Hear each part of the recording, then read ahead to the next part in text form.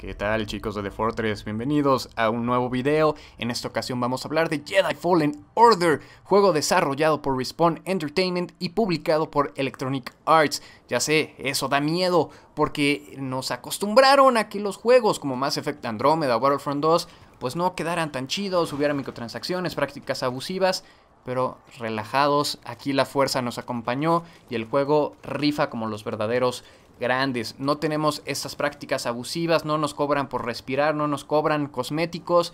Es un juego hecho y derecho que está bastante chidote. Así que empecemos. Un detalle pequeño pero bastante encantador es justamente esta área dentro de la nave, donde al explorar planetas podemos recoger semillas después de que BD-1 las escanee y llegamos y las plantamos aquí para que Gris tenga su jardincito, tenga su huertita y pues se vea bonita la nave, ¿no? Que tengamos un efecto de decoración y a la vez un eh, coleccionable y algo que nos impulsa a explorar más los planetas.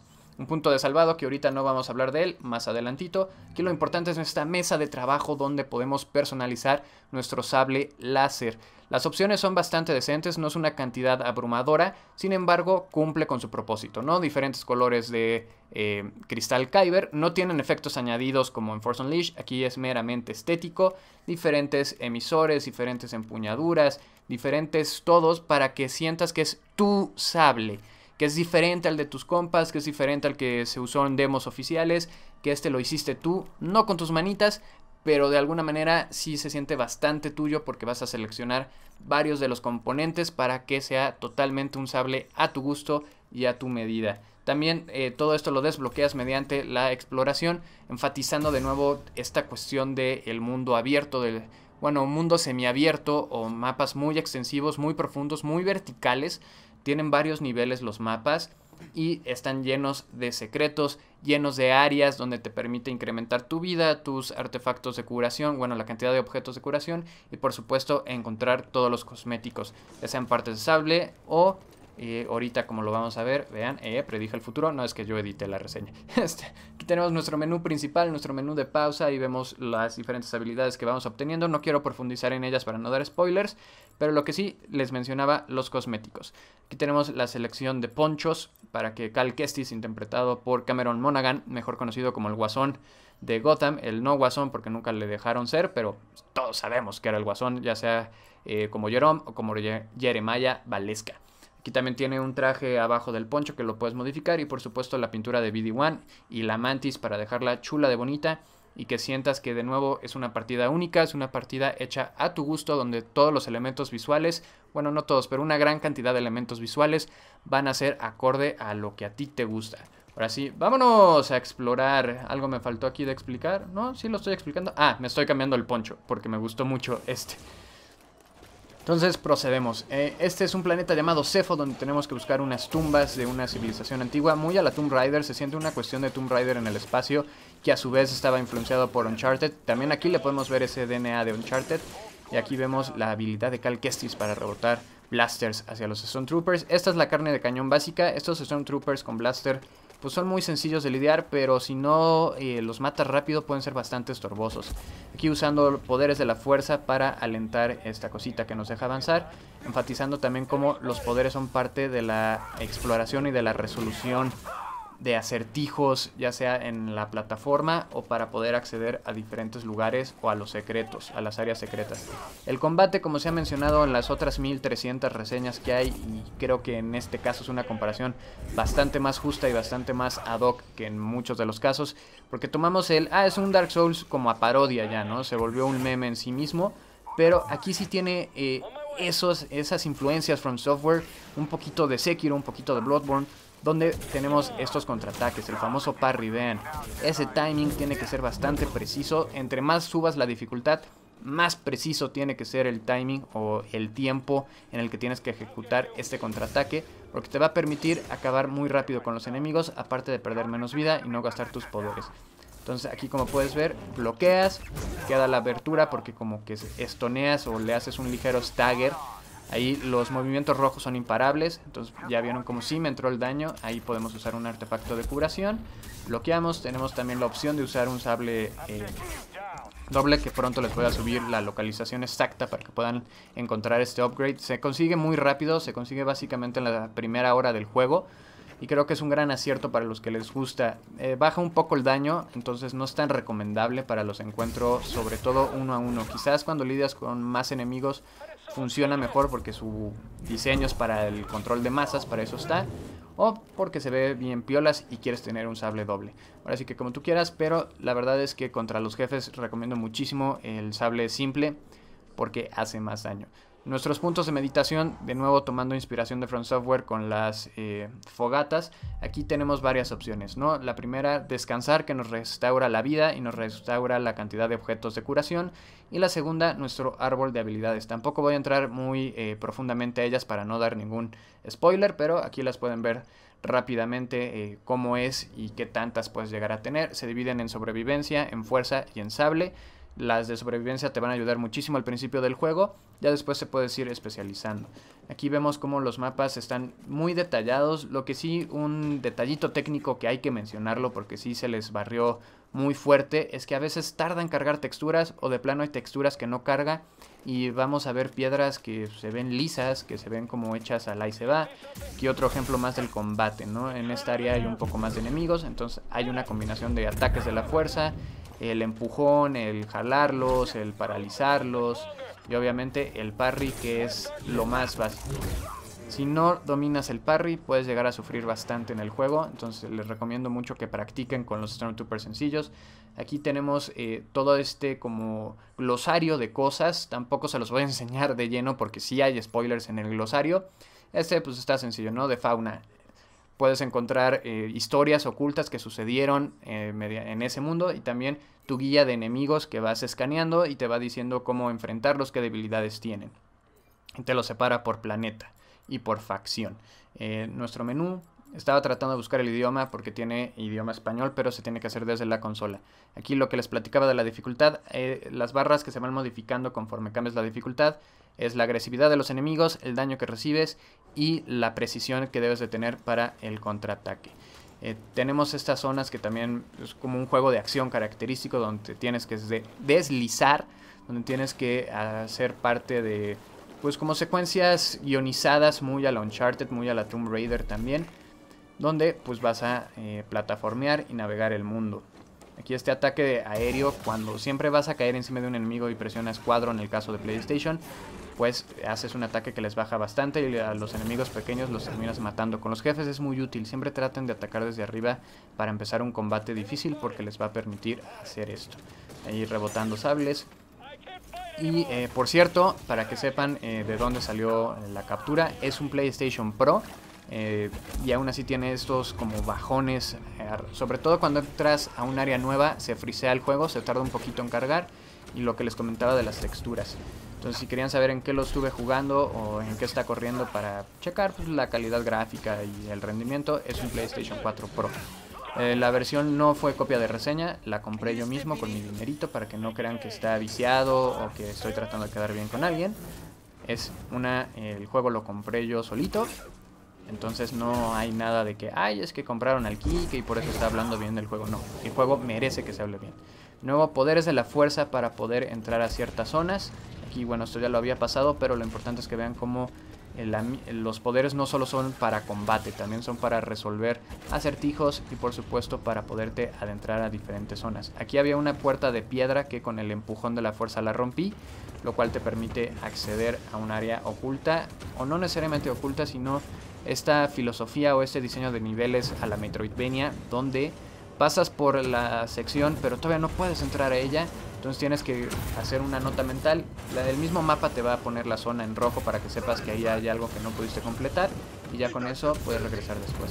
Este es un cazarrecompensas aleatoriamente después del primero que enfrentas que es como forzoso que es parte de la historia empiezan a aparecer en zonas diferentes. No son muy difíciles son como subjefes pero pues le añade un, hay una mesa de trabajo para modificar el sable si gustan le añade un detalle extra, ¿no? El hecho de que niveles que ya pensabas habías recorrido, cuando regresas a hacer el backtracking, de repente te puede sorprender este equipo. Son varios, son creo que cuatro tipos diferentes de recompensas Entonces está divertido que también tengas que cuidarte de eso. Creo que le da una dimensión interesante.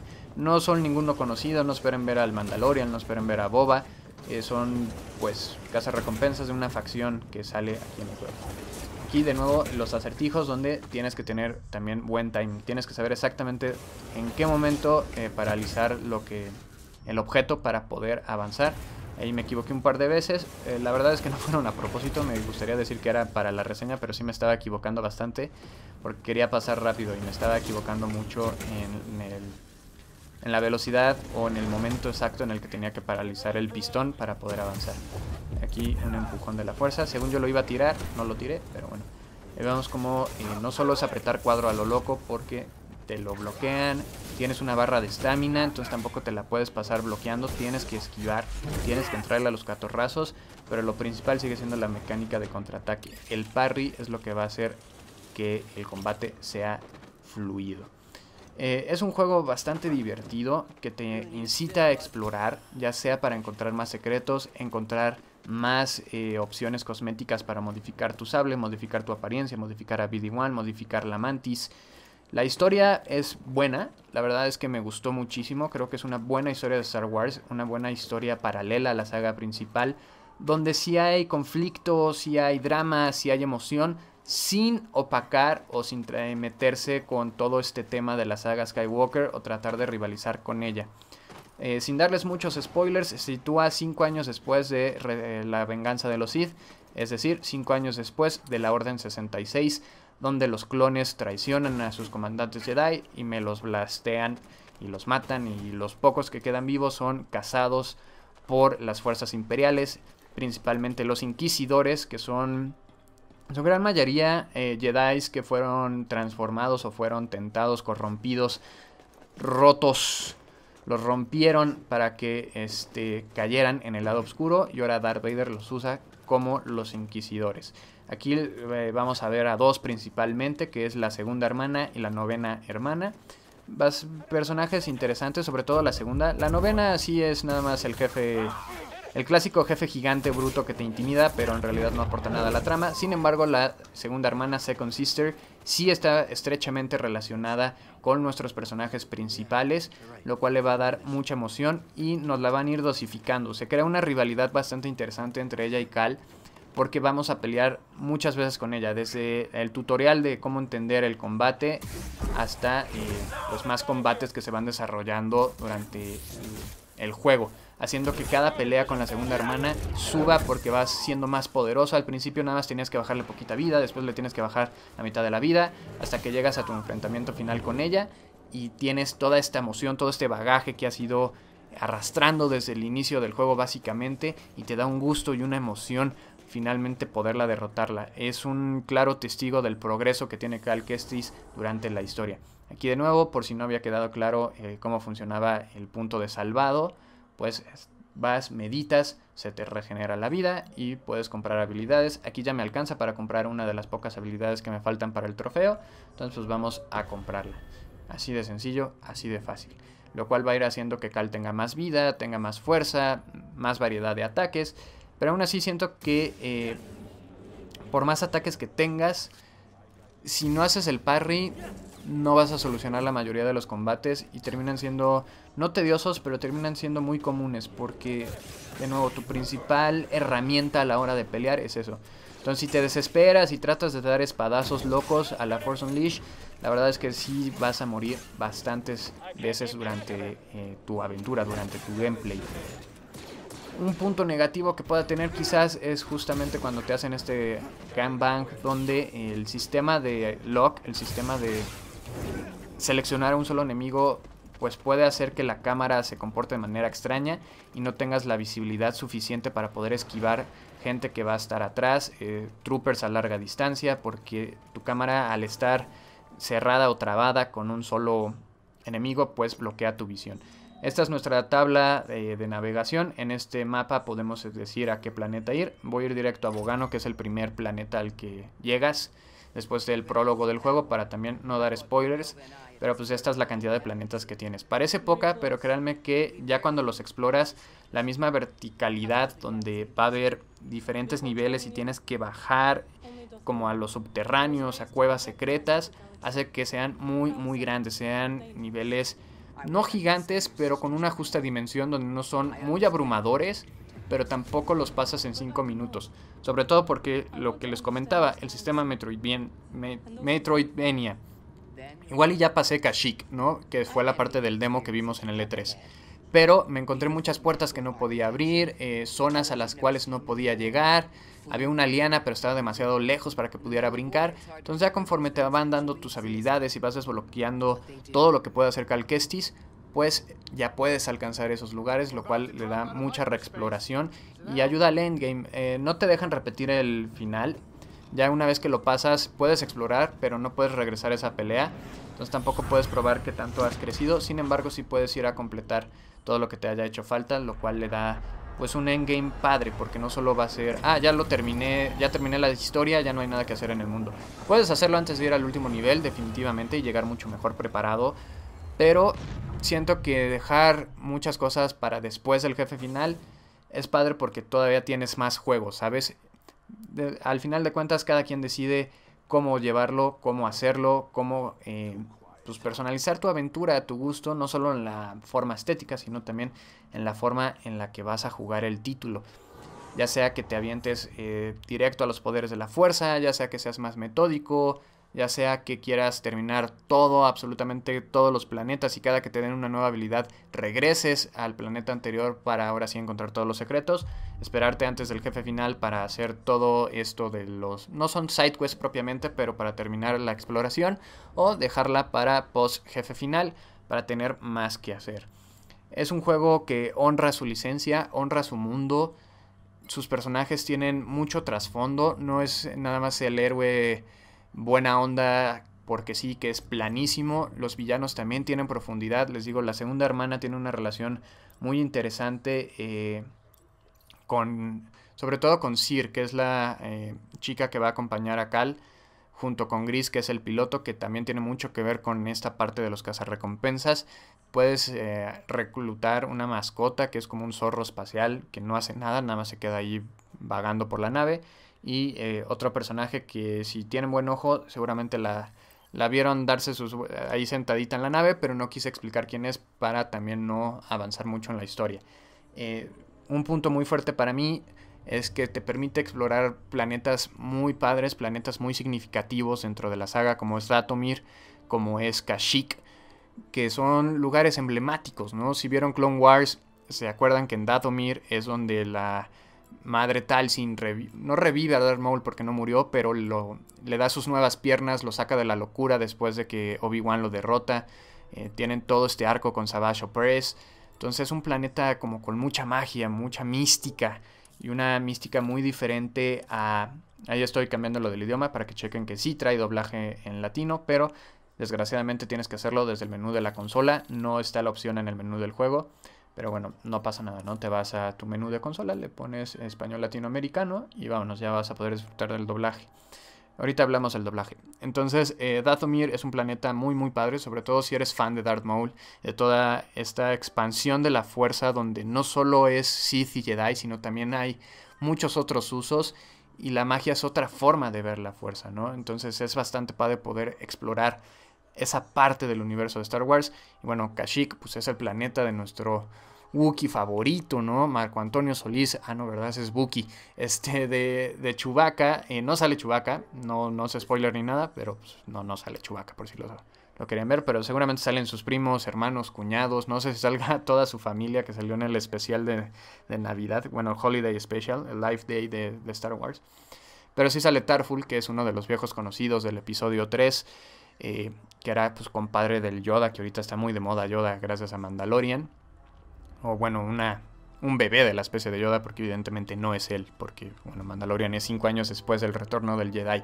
Pero el punto es ese, ¿no? Eh, es un juego con muchos puntos fuertes, pocos puntos negativos, más allá del detalle técnico y que la cámara puede llegar a ser bastante molesta cuando se centra en un solo objetivo y tú estás tratando de eh, bloquear o de esquivar porque se te están juntando demasiado los enemigos hay una parte donde sí se atascan y tienes que lidiar con eh, enemigos a corta distancia, entre ellos los Purge Troopers, que son troopers más especializados, que son como pues, los que ayudan a los inquisidores a cazar Jedi y también eh, de larga distancia. Aquí eh, pueden escuchar a Luis Navarro Arredondo, encargado de darle voz a Cal Kestis, que es pues la voz principal. Eh, Rebeca Gómez tiene una participación también.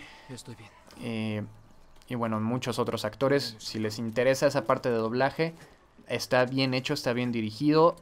Y creo que es un doblaje bastante competente. Y Luis le da mucha personalidad a Cal y no lo hace sentir como fuera de lugar, ¿saben? O sea, sí sientes que esa voz le pertenece al modelo del personaje. Aún así, siempre recomiendo también checar el idioma original porque pues hay que checar cuál era la intención de los creadores y los desarrolladores. Si tienen problemas con el inglés, no pasa absolutamente nada. O si simplemente son fans del doblaje latino y del doblaje mexicano, pues qué bueno que tengan la opción. Siempre va a ser mejor tener la opción que eh, las empresas te obliguen a una sola forma. Esto es Jedi Fallen Order, espero les haya gustado. Si tienen dudas adicionales o quieren saber detalles más específicos del juego, déjalo en los comentarios, va a ser un honor y un deleite leerte. Cuídense, que la fuerza los acompañe. Nos vemos próximamente aquí en The Fortress. Bye bye. Estoy bien.